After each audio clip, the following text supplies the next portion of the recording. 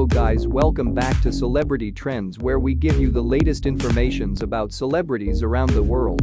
Before we continue if you are new to my channel, please hit the subscription button and turn on the notification bell so you can catch our latest videos. Chris Brown has demanded the scheduled trial date with inside the case wherein his ex-housekeeper claimed his canine viciously attacked her, postponed RadarOnline.com has learned.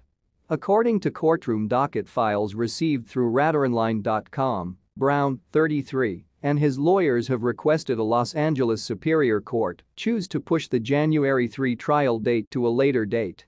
Brown stated his ex-housekeeper has but to identify, name, or serve any of the other defendants with inside the case, along with his canine breeder. Further, he stated that the housekeeper has did not go through suitable clinical examinations through an professional of his choosing.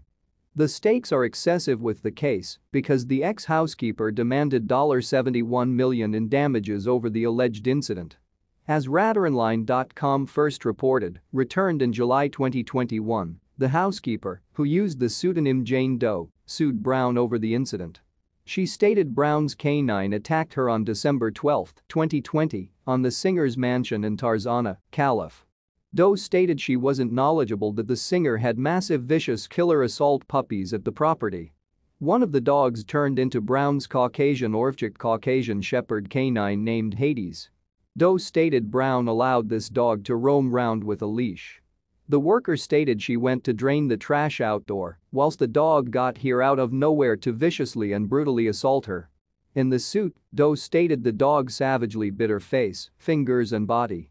She stated the animal ripped out massive chunks of her skin. The housekeeper stated she turned into laying at the ground bleeding whilst trying to cowl her face and body. Doe stated she watched as Brown approached her speak on his mobilular phone. She claimed to have heard him inform his protection guards to dispose of the animal from the property. Doe stated she feared her existence turned into over. She stated Brown owes her tens of tens of thousands and thousands for her emotional and intellectual misery, together with clinical expenses. In response, Brown stated the housekeeper had mistreated Hades and induced her personal accidents. Brown argued Doe's accidents have been as a result of her personal misconduct in that she voluntarily teased, abused, and mistreated the canine and thereby provoked the assault. The singer denied all allegations of wrongdoing.